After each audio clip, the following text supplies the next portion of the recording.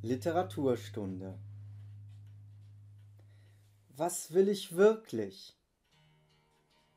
Ganz ergriffen von meinen tiefen Gedanken schiebe ich die Lernkarten für Französisch, für Spanisch, für Englisch, Ungarisch und Russisch und natürlich auch für die deutsche Sprache beiseite und falte meine Hände vor mir auf dem Tisch. Mein Lehrer, der Gymnasialprofessor Georg Friedrich Daumer, ist immer seltener während meiner Studien hier in seiner wohnlichen Hausbibliothek mit Kamin bei mir. Warm ist es hier. Ich habe soeben gemeinsam mit ihm gefrühstückt. Da hat er sich auch schon wieder verabschiedet, sein Brot hastig gegessen, die Ledermappe gegriffen und gesagt, sein Sekretär käme und die beiden hätten etwas Wichtiges zu erledigen. Die Köchin nickte, ich tupfte mir mit meiner Serviette den Mund, und als sich unsere Blicke trafen, hob sie die Augenbrauen und begann den Tisch aufzuräumen. Nimm's ihm net bös, sagte sie mit ihrem herzhaften fränkischen Dialekt, den ich nie herausbringe. Sie hat genau gesehen, dass ich gern gehabt hätte, wenn er dageblieben wäre. Bei mir, seinem Zögling und seinem Studienobjekt. Ja, Marie, Sie haben recht, entgegne ich. Marie heißt die Köchin. Nun sitze ich hier in der Bibliothek allein. Schön ist es hier.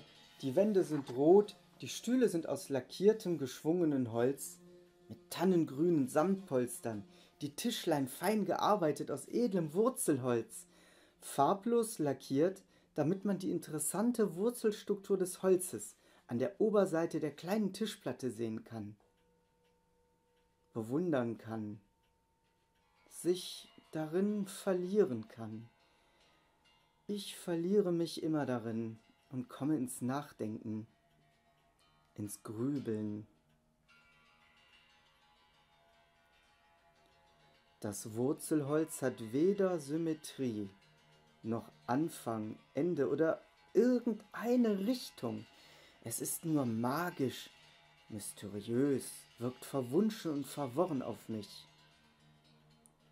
Undurchdringlich ist es und voller Fragen, orientierungslos, richtungslos, wie mein Leben. Verwirrt und erschöpft vom vielen Lernen, Konjugieren, Deklinieren, Schönschreiben, an das ich meine Hand noch nicht so recht gewöhnen will, hm, mit rechts geht es eine Weile, mit links habe ich es auch probiert und zunächst kläglich versagt, gönne ich mir einen Blick aus dem Fenster. Sommer ist jetzt und die Wolken werden vom Wind getrieben, ebenso wie ich hier von den Menschen und deren Lüsten, Gelüsten und Gier, Grausamkeiten und Gönnertum, Gewalt und Gnade getrieben werde. Doch was will ich ich, der Findling Nürnbergs, wohl der einzige, denn erdgeschichtlich hat noch kein Gletscher hier an der Pegnitz einen Findling hinterlassen, jedenfalls keinen, den ich kenne. Dafür kenne ich die Pegnitz. Sie ist mein Fluss, meine einzige Freundin, die mir treu ist, die mich nie verlässt. Professor Daumer verlässt mich immer öfter. Zunächst war es ihm wohl lieb, die Achtung des Rates von Nürnberg zu bekommen, Aufmerksamkeit, Ehren und all dies. Nun bemerkt er wohl, dass ich ihm zur Last werde. Er sieht mich oft seltsam an und sein Blick weicht mir aus. Ich kann nicht an mich halten, wenn seine Stimme unsicher wird. Wollen auch Sie mich wieder loswerden? will es aus mir herausbrüllen. Doch bevor ich ihn nachher verliere, weil ich selbst unartig gewesen bin, bin ich still, greife nur zur Teekanne, deren Goldverzierung in der Sonne blinkt, und frage ihn meinerseits lächelnd und mit sicherer Stimme, möchten Sie noch etwas Tee? Er wird mich abschieben, auch er. Er wird einen Grund finden, erfinden. Ich sehe es in seinem Gesicht, Da steht es nämlich in deutlichen Lettern geschrieben, und die kann ich allemal lesen. Das konnte ich schon ausgezeichnet, bevor ich Deutsch, Englisch oder Französisch lesen oder gar schreiben kann. Studieren tun sie mich bloß alle wie ein seltenes, unbekanntes Tier, das einer von einer Reise aus Übersee mitbringt. Sie vermessen mich, biologisch wie auch geodätisch, wer ich bin, wie meine Zähne sind, wie meine Physiognomie ist und wo die herkommen mag, woher ich stamme, genealogisch, auch meine Mundart hören sie genau an. Worte muss ich aussprechen, immer wieder. Langsam, dann schneller und immer gibt's Notizen dazu. In kleinen Heftchen, Augenbrauen heben, stummes Nicken, dann ein dümmliches Grinsen auf dem gierigen Gesicht. Sie bestimmen überhaupt alles an mir, wie Botaniker, wie Zoologen, bestimmen Alter, Größe, Geschlecht, Hautfarbe, Augenfarbe. Herrgott, ich bin auch seltens Quicks. Sie grapschen meine Arme und Beine, messen das Ebenmaß meiner Gliedmaßen. Ärzte, Forscher und andere Leute, die ihre Übergriffigkeiten mit ihren Ämtern und Absichtigen zu rechtfertigen versuchen, betatschen meinen Rücken. Ob ich denn einen Buckel hätte, eine Skoliose, ein Hohlkreuz gar? Manche sprechen sogar mit mir, aber für sie bin und bleibe ich der Gaudi, das Kuriosum. Fehlt noch, dass sie mich ausstellen und Eintritt nehmen oder auf dem Plärrer Pfeil bieten. An den Zustand sind wir nah dran. Keiner kümmert sich um mein Wesen. Wie ein Gürteltier wollen sie mich erfühlen, erforschen, wiegen. Doch anhand der vielen Oberflächlichkeiten dringt keiner durch zu seinem Wesen, dem Wesen des Gürteltiers. Was ist das Wesen des Gürteltiers?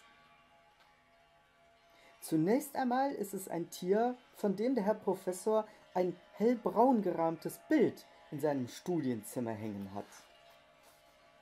Noch so viele Sprachversuche, Mundartstudien, Schriftanalysen können Sie von mir kriegen. Was Sie dabei nicht zu fassen bekommen, ist mein Wesen, das Wesen des Kaspar Hauser.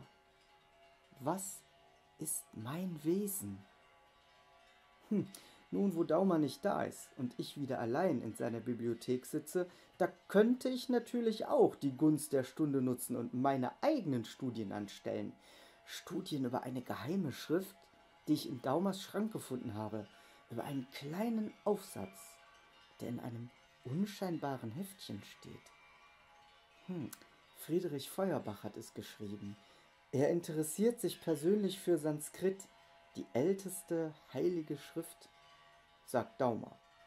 Einmal, als ich ihn fragte, ob ich in seiner Abwesenheit auch in andere Bücher als unsere Studienwerke schauen dürfe, da strahlte er und rief, Oh ja, schau nur ruhig hinein, betrachte all diese Bücher als deine Studienwerke. Na, das war vor einigen Wochen, als ich noch neu bei ihm war. Speziell diesen kleinen Aufsatz von Friedrich Feuerbach hat er nun nicht gemeint, aber da er alles von mir weiß, warum soll ich seine Worte über die Bücher dann nicht wörtlich nehmen? Ein Heft ist schließlich auch ein kleines Buch. Und ich verstehe mich gut mit Friedrich. Er ist sechs Jahre älter als ich.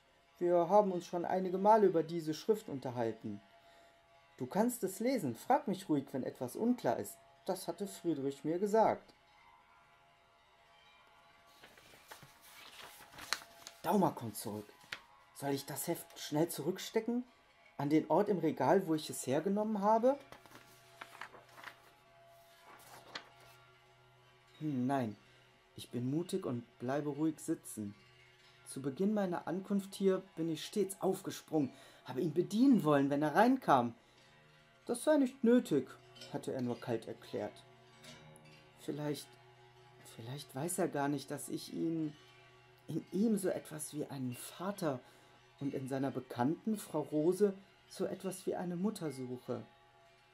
Immer beneide ich Kinder, wenn sie an der Hand ihrer Eltern durch Nürnberg ziehen.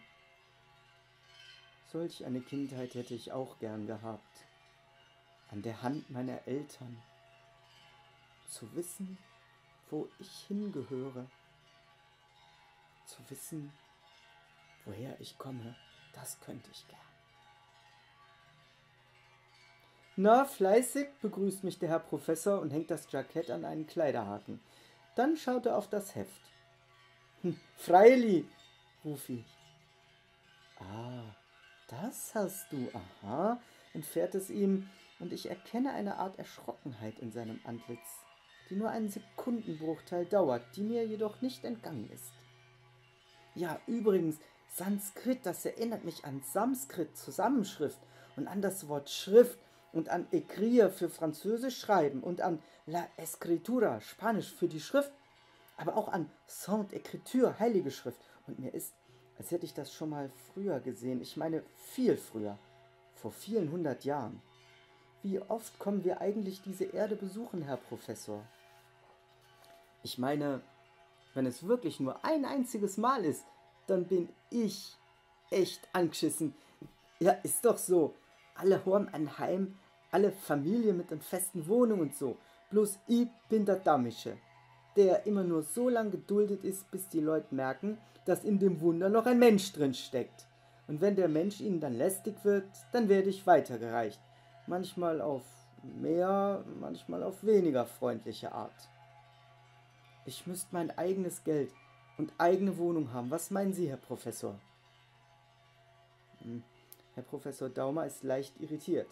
Er sagt, ich wechsle zu schnell die Themen. Dann deute ich auf das Schriftstück vor uns auf dem Tisch. Es liegt aufgeschlagen da und übersetzt sind manche Worte mit Bleistift notiert am Rand eines ansonsten mit Tinte geschriebenen Textes. Das da, hinter dem Wort Samadhi, da steht Erlösung. Erlösung, aha, überlege ich laut. Und dahinter, bitte helfen Sie mir, das kann ich nicht entziffern. Kaiwal, Kaiwali. Ah, Sansa, Saugpreis! Ärgere ich mich laut, als ich das Wort nicht hinkriege. Den Spruch habe ich mal irgendwo aufgeschnappt. Erst lachen wir gemeinsam. Ich mein derbes Lachen. Dann wird Daumer ernst. Er mag meine deftige Ausdrucksweise manchmal, aber ich glaube in Wahrheit fürchtet er sich vor mir.